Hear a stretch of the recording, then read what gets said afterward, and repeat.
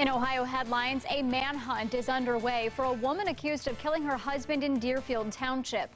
Authorities are searching for 28-year-old Stormy Delahanty. She's accused of killing her husband at their Warren County apartment. Authorities say the victim was stabbed to death. A relative found his body Monday night. A murder warrant has been issued for Delahanty, and anyone with information about where she is should contact the Warren County Sheriff's Office.